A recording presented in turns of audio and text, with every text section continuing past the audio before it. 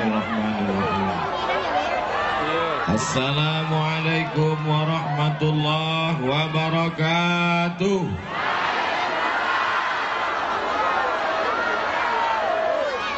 Bersyukur kepada Allah dengan mengucapkan Alhamdulillahi Rabbil Alamin Berselawat kepada Rasulullah dengan ucapan Allahumma salli ala Sayyidina Muhammad wa ala alihi wa sahbihi wa barik wa sallim Apa kau bau yang betul bau? Sehat?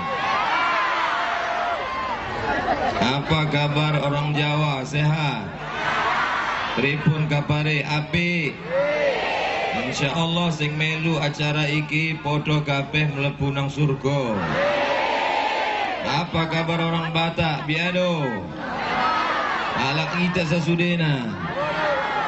Inilah Indonesia yang bersatu dalam negara kesatuan Republik tidak ada perbedaan di antara kita Semua cinta pada negeri ini Betul? Anak rajo memakai katun-katun di boli di tanah langkat Aku tak lagi berpantun Hati susah hujan lobat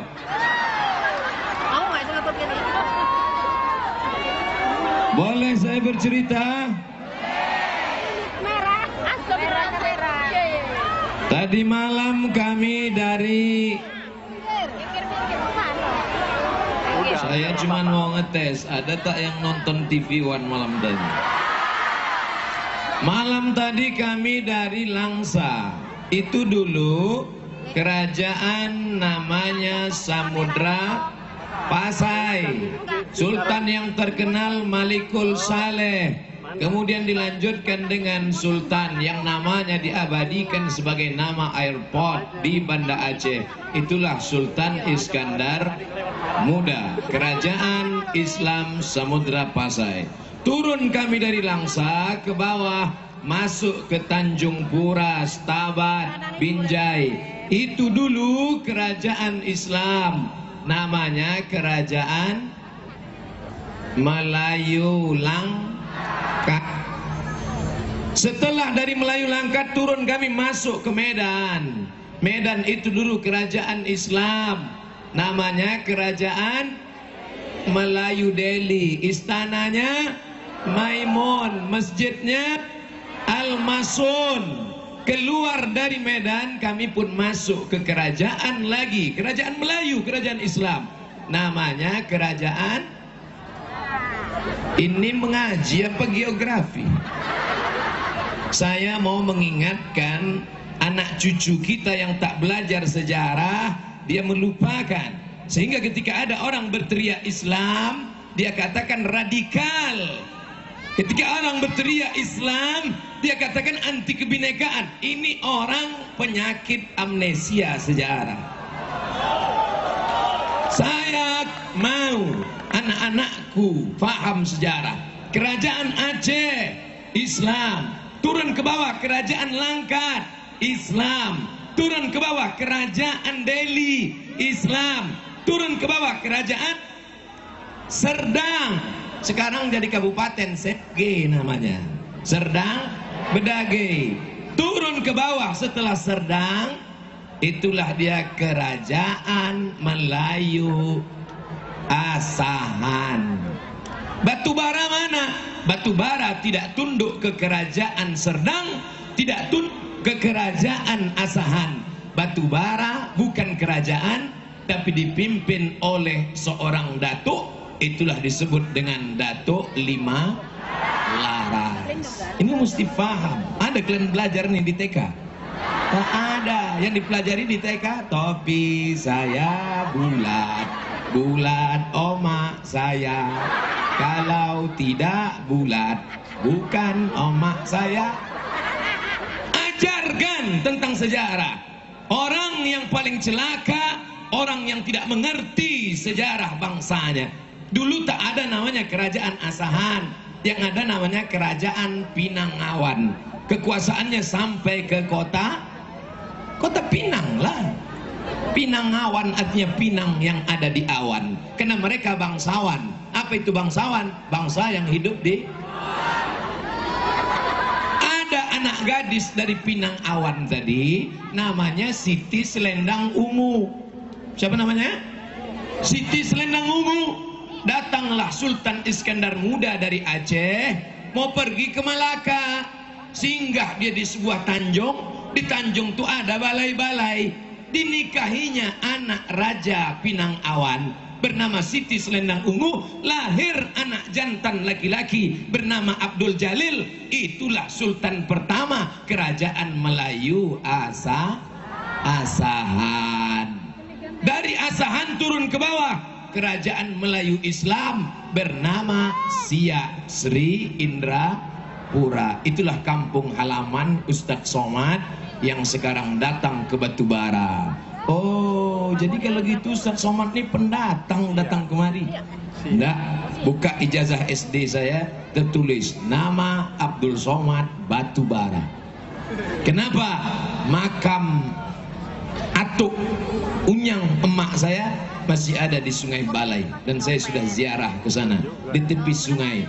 Namanya Nahoda Alang bin Nahoda Ismail. Nahoda di belakang namanya karena dia punya kapal kayu besar yang membawa barang-barang dagangan karena memang orang batubara itu kaya-kaya punya kapal dulu tahu Wahab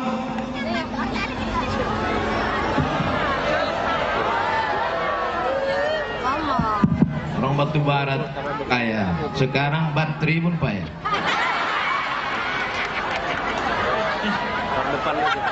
Bisa kita lanjutkan?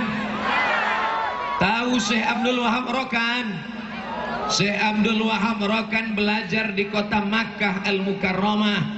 Di antara guru Syekh Abdul Wahab Rokan namanya Syekh Muhammad Yunus bin Syekh Abdurrahman Al-Batu Bahari. Tahu Al-Batu Bahari? Batu bara guru Syekh Abdul Wahab Rokan. Baca sejarah. Sid Rokan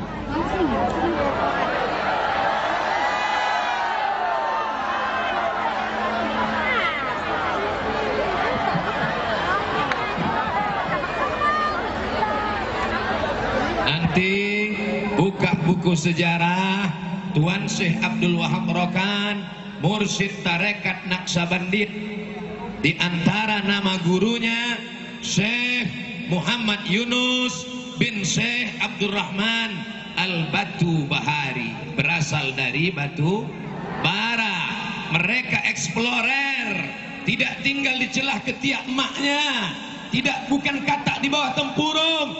Mereka bukan ustadz level kecamatan mereka mengajar di Masjidil Haram. Ada ulama besar diteliti di Malaysia. Nama kitabnya Syekh Muhammad Zain Tasha. Siapa namanya? Syekh Muhammad Zain Tasha. Tapi karena orang batu bara payah menyebut Syekh Muhammad Zain Tasha. Siapa namanya? Majen Tasha. Kenal? Tahu Syekh Muhammad Zain Tasha menulis kitab di mana dia belajar dari Makkah datang orang Kuala Lumpur meneliti sejarah hidupnya ditulis di harian utusan Malaysia Syekh Muhammad Zain Tasha Al Batu Bahari orang Batubara. Oleh sebab itu maka terakhir guru kami di Masjid Raya Al Masun Medan Masjid kebanggaan orang Indonesia Medan punya kota. Siapa nama imamnya? Waktu saya dulu sekolah nama imamnya Syekh Jalaluddin Abdul Muttalib. Orang Batubara sekolah Al-Wasliyah Simpang Sianam masih ada lagi? Masih hidup lagi? Apa yang ingin saya sampaikan ada tadi mengatakan kita doakan Pak Bupati, Pak Wakil Bupati insya Allah bersama. Insya Allah mereka tetap bersama mewujudkan anak-anak batubara menjadi ulama di masa akan datang. Wahai Bapak Bupati Allah sudah berikan kalian berdua amanah. Mereka yang mencoblos maupun tidak semuanya berharap supaya anak-anak mereka jaya seperti zaman dulu kebanggaan lima laras anak-anak kita selamat dari narkoba. Amin. Anak-anak kita selamat dari aliran sesat. Amin. Macam mana anak kita mau selamat? Pelajaran di SMP agama Islam cuma satu mata pelajaran. Seminggu sekali. P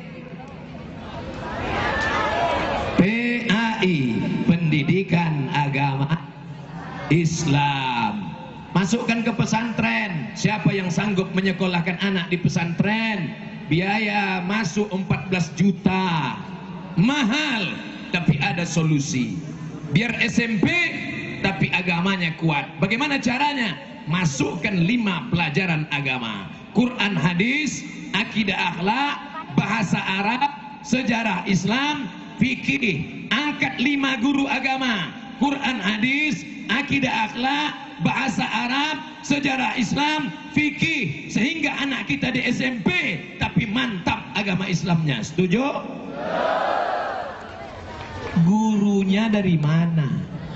IAI IAIN anak-anak bara yang kuliah di IAIN sekarang sudah jadi UIN angkat.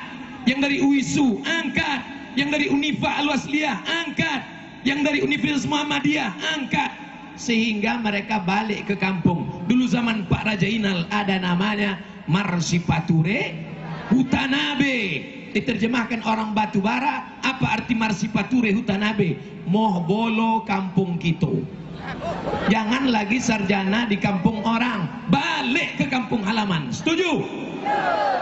Masuk lima guru agama ke SMP kenapa Ustaz tidak bicara SMA SMA Budaya Bupati. SMA tanggung jawab Bapak Edi Rahmayadi. SMP tanggung jawab Bupati. Kalau sampai anak SMP tak paham agama aliran sesat Bupati yang duluan masuk neraka. Tapi kalau anak-anak SMP ini selamat akidahnya, anak SMP ini benar agamanya, meninggal Bapak Bupati, meninggal Bapak Wakil Bupati, mengalir pahala ke makam mereka. Betul? Jabatan ini tak lama, paling lama dua periode. Itu pun kalau ada orang memilih. Jabatan ini tak lama, penyakit sudah datang mengintai. Apa namanya? Jantung koroner. Apa namanya? Diabetes meletus. Apa namanya? Asam urat. Tapi penyakit itu akan hilang. Kenapa hilang? Seluruh SMP, seluruh bapaknya, seluruh emaknya, seluruh anak SMP di Batubara akan mendoakan Pak